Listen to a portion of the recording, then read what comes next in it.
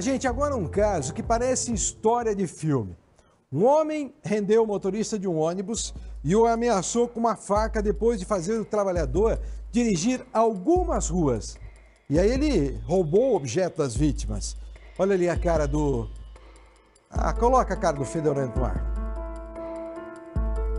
O ônibus do transporte coletivo para em um ponto no Jardim Liberdade.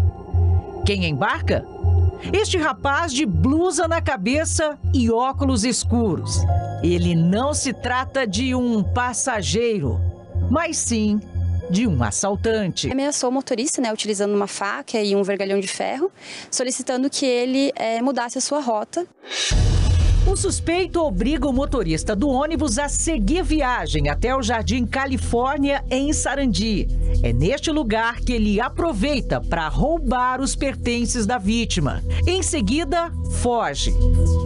Perceba que no momento do assalto, uma passageira está dentro do ônibus, mas não é roubada.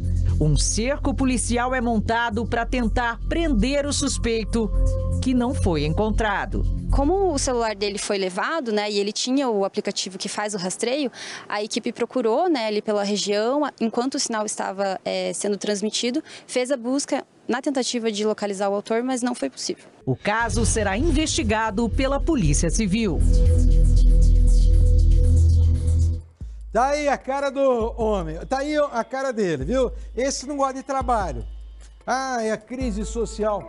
Crise social é você convidar esse cara para capinar. Duvido que aceite, duvido, duvido que aceite.